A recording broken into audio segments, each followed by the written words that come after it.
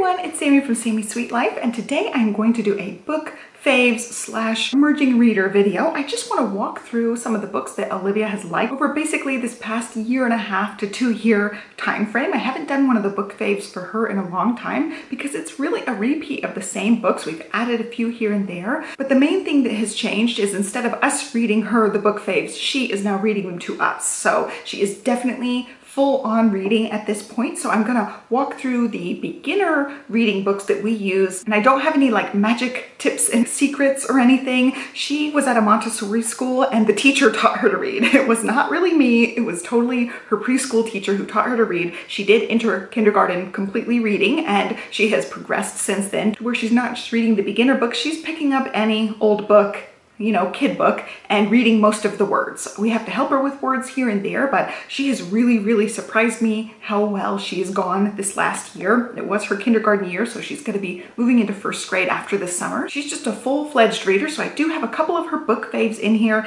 and mostly it's just talking about how we progressed through the beginner learning to read, teaching her to read, on through to being a reader now. So First up, we ended up using sight word flashcards with her. She learned her alphabet backwards and forwards, the sounds of them, the letters of them, capitals, lowercase, all that stuff. Pretty early on, she was just really interested in it when we read a book called Chicka Chicka Boom Boom, which is a very popular book. There's a page in the back of our board book version that has all of the alphabets, uppercase and lowercase, in like a rainbow coloration, and she just really liked that page and after a while I realized she was paying attention to the letters. She would like point to them, I'd tell her what they were and then after a while I would say something like where's the A and she could point to the A. Where's the F? She could point to the F. So I knew she knew the alphabet at that point and this was early on way before she was verbal. She knew the alphabet and then we talked about little a versus big A and so pretty early on she knew all the letters and then we started doing sight words a little bit where it's just basically memorization. You just get the sight word flashcards, you get memorize those and she loved it. It was a fun game for her. So we got a big set. I'll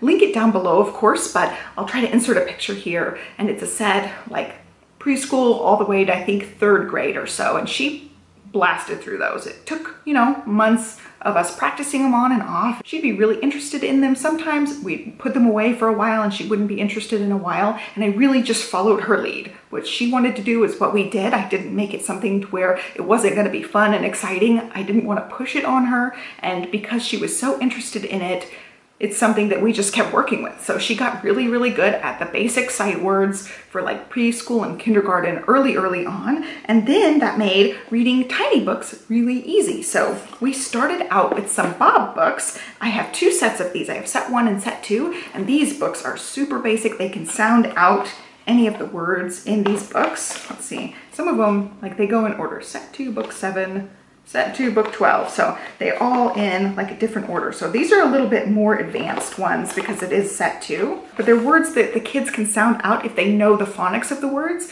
So actually going back to flashcards, we had the letter flashcards and like on one side it would say the letter and then on the other side it would use the letter in a word. So you're showing them the letter and they're supposed to say like for you, it would be uh and then the word on the back could be something like bus or cup, like how you're using it in a sentence. So she really, really liked those. Our little letter flashcards also had combination sounds. So it'd have like a CH and then it would have a word that goes with CH. And like CK, it would have a word, that, that word I remember is duck. So you'd hear the sound used in a word. And so it really helped her visualize and sound out these sounds. So when we pulled out the Bob books, they're super simple. Now this is the set two, so it's a little bit more advanced, a little bit more words on a page, but they're very simple words like go. If she knows the sound for G, ga, and she knows the sound for O, sometimes you say ah, but O is a long O for that, she can sound out the word go.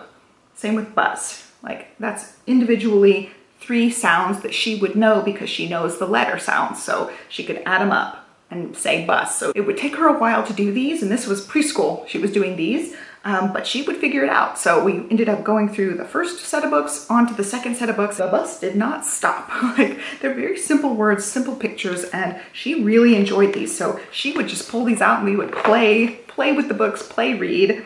And I say they're really, really good sets to get. Um, they do have more than just the two sets, but those are the two that we ended up having. Just set one and set two, and those were really, really helpful. And then going along with that, they also have all sorts of different like characters, if your kids like a certain type of character. She happened to like Pete the Cat, so I ended up seeing this I Can Read Phonics Pete the Cat, and it's the same style of thing, but I feel like this one's a little bit more advanced than the Bob books. And again, it's like these bite-sized pieces. They go in an order.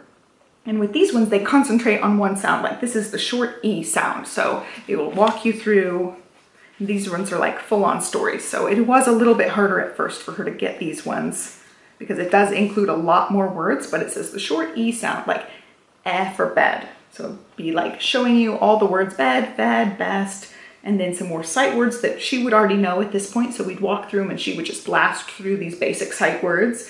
And then it says, here are some fun Pete the Cat words. So these are like bigger words that she hadn't been exposed to reading herself. Like the word sleepover, that's a big word for a, at this point, uh, an emerging into kindergarten kid. Um, so we had fun with these. We would read these like one a night or so, and she really liked those. We also have a couple of different other sets of these. And then I also got these seasons of sight words books. So it's just reinforcing those sight words, and these ones have the sight words on the front. Let every not and see. Um, so these ones are just different seasons. We ended up with the fall and the spring of these, and we would just like read one a day and practice together. And she ended up getting these to where we would cycle through all of these Bob books and phonics books again, and she would have them down after a while. She'd be able to sound out all the words and read all the sight words in these books. So these were really, really nice sets to have. We do have other ones. I think we have a Peppa Pig set of these, and I just think that's a great, great place to start, especially the Bob books that are super duper basic and easy for kids to read. We were reading other things like together, and also she was helping a little bit here and there. I would like read a book and point to a sight word and say, okay, it's your turn to read this word, and she would read that word and make it like a game and fun for her. So once we got through, like she knew these phonics ones super easy. They were too easy for her at this point. We moved on to having her read with us like she would read a page or a couple of lines and then we would read a page or a couple of lines and go back and forth. One of the best books for this, I feel like, are Dr. Seuss books. Just these very simple ones um, Fox in Socks, Green Eggs and Ham, also One Fish, Two Fish is a great one. They just have a lot of simple, rhymy, easy words. Um, Ten Apples Up on Top is another one. So we would read these to her, you know, when she was littler, and then she started reading them to us, or helping us read. You know, she'd read a page, we'd read a page, and it made it really fun. Also Cat in the Hat, and also Cat in the Hat comes back. They're all ones that she just started really getting into and going along with like the same easy style. We have a couple of these like Pug in a Bug. This one's called Dog on a Frog. Just anything that's like a, a rhymey, sing-songy one. It makes it easy. If she knows the word dog, she can say the word frog. So these ones are really great ones too to start with because the words go together and it makes it easier for them to figure out some of the words. So she she got these down pat pretty well. We also had another kind of book. There's various different titles of these ones. There's the ready to read books and also the I can read books. And these are like brand name things. You can get them in all sorts of like different characters and things, um, different series like Amelia Bedelia. Um, they also have like little critter ones of these, pretty much like any character. If they're excited about Dr. Seuss characters, um, some superhero ones. Pretty sure they're even like Disney themed type ones too, but they're just the same brand, like ready to read, I can read. And there's one that's called You Read, I Read. We have a discovery book like that. So they start out with you know, level one, and then they can move on to level two and three and so on. So these ones are good. The words are big. There's not a whole lot of words on a page, so they can figure it out. And they're just you know, very simple. These are also great ones to add in once they conquer like the basic Bob book style books. And also going along with that, we have some of these like collection books. We ended up getting these ones at Kohl's. They were just in the Kohl's Cares section, but they're three books in each. And again, it's that same I can read. It's my first shared reading, so at some point, she was able to read these all on her own, but this one's pretty simple, like very repetitive, not very word heavy pages, and they're great for beginning reading when they're like trying to track with their fingers. It makes it so easy for them to feel like they can do it themselves. Let's talk about, since she is a reader now, she basically will read any of the kid books that we have. I haven't really bought a whole lot of books lately because the books are now like new again because she can read them herself. She doesn't have to bring them to us and have us read them to her. So I do have some of her actual book favorites here. Dr. Seuss is definitely still a favorite. She loves Dr. Seuss of all kinds. And we ended up getting this one a really long time ago, the Classic Fairy Tales collection. She really likes this one and she will read this one cover to cover some days. And she'll tell me,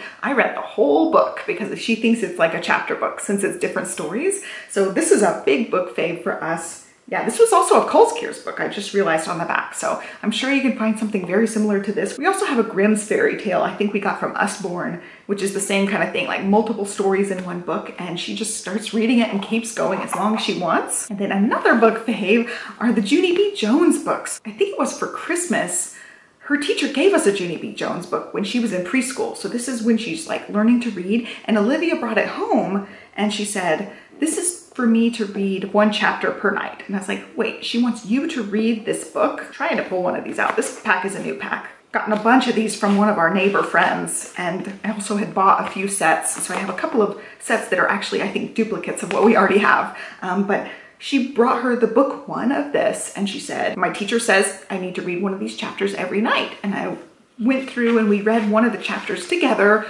This was before she got really good at reading. This is back in preschool when she's like starting out reading, but I didn't think she'd be ready for like a full-on chapter book. And so we sat there and it was a struggle for her to like read it to us and we'd have to sound out words with her. But she was really, really into it, really liked the story, thought it was funny. And it, the first one's called Stupid Smelly Bus and stupid is the S word in this house. so she thinks that's the really bad S word. so she thought it was cool because I'm like, well, if you're reading, you're allowed to say it because it's in the book, you know, you can read it. And so she thought it was really cool that she got to say the word stupid because she was reading. Slowly went through the Junie B book and I did end up writing to the teacher. I was like, you know, it was really hard for her to read that whole chapter last night. Are you sure this is what, you know, you're supposed to do? She's like, I just got it for her and gave it to her because she's starting to read and I wanted to kind of like inspire her to read, but she didn't give us any assignments. So after that, we took it a little bit slower and I ended up basically with all the Junie B. Jones books and she loves these ones. She'll pick these ones off the shelf and read them. Now she can read them all the way through. Like she'll read as many chapters as she wants all the way through. And every once in a while I have to help her with a word because it does have bigger words in these Junie B books, but they're really, really good books. I would recommend them, especially if your little girl likes naughty words because she, she does say stupid and a couple of other things in the books. Nothing, nothing like past G-rated stuff, but they're really good. You can buy the boxed sets like this is four of the books and I think they go all the way up to like 20 something or 30 something. So there's a lot of books in here to keep their interest. Another type of book we've liked, we have a couple of these five minute story books. We've got some of these with um, the Disney Mickey Mouse characters. We've got a little critter, the Peppa Pig. She likes these because she can, again, like read it like it's a chapter book. She really, really enjoys these ones. And then a favorite that has always, always been a favorite since the beginning of starting to read with her. She loves the Mo Willems books. All of these duckling and pigeon books, the pig and elephant books, and also the Knuffle Bunny books. She just loves them. They're just super cute. And now, of course, she reads them to us. So it's really fun. She'll sit there and read this one. These ones now are pretty easy for her actually, but she really enjoys them. She'll pull them off the shelf a lot of times as her favorite ones. And then one that I'm super excited about that she really likes, and we've read it all the way through once. I do have to help her sometimes because the words are a little bit bigger in this one, but she will also read this one on her own as well. Where the Sidewalk Ends. And this is one I loved, probably not as a kindergartner, probably a little bit older than that, but she just love, love, loves this book. So we are gonna read it through again this summer, like pick a few poems a day and just read it and I just love, love this book. There's one that's my absolute favorite poem and I still have most of it memorized from all the years. Um, Ickle Me, Pickle Me, Tickle Me Too. So that one's a cute one. But she and I read this one together sometimes. She'll pull it off the shelf and read it on her own and it's just really, really a fun one. There are other Shel Silverstein books that I plan on getting her, you know, for birthdays and things, but for now, she has a lot of books to read. It keeps her entertained enough, but this is definitely a favorite. I'm super glad. I really liked Frog and Toad, so she has a couple of those that we've read, but she doesn't seem to be into it as much as I was. Like, I loved Frog and Toad. When I was in my like early days of reading, I just loved those little chapter books, so I'm hoping that she will still like those, and same with the little critter books. She's starting to like those a lot more, but we have tons of those because I love those books and I hope she really ends up liking those ones too. But it's just been really fun. I don't know what reading scale it was. I'm not concerned because I know she can read really well. Um, It's whatever scale they're using. They're supposed to be at a level four like on this scale before they're done with kindergarten. So at the end, they all got this little paper in their backpack the last couple of days of school and she's supposed to be at a four minimum. She was at a 20. So she's definitely well ahead on reading. So some of these book suggestions may be a little bit tricky. If you're talking about a kindergartner or a first grader even, some of these books may be a little bit extra challenging because Olivia does read, I think at a little bit advanced level since it's above a four, but I wanted to show you guys like from start to finish where we started, where she is currently, and I definitely need more recommendations. If you have a bigger kid, I would love to know some of your like early reader chapter books that you recommend because she's pretty much mastering the Junie B. Jones books. We have pretty much all of them and we've gone through them at least a couple of times each. We need more suggestions. So I would love to know like your chapter book book series. So leave me those suggestions down below if you happen to have bigger kids. And otherwise I will link to all the books that I can find for you guys in the description box. If any of them sound up your alley, you can check the description box and find those. And I think that's it. So I hope you guys like this video. I haven't really done a book faves in a while for Olivia because because she's just basically reading the same books now that we've always said in the book faves. So we still, she still loves Pete the Cat a lot. She still loves all the piggy and elephant. So I hope you guys like this video. Have a great day and I'll catch you next time. Thanks for watching. Bye.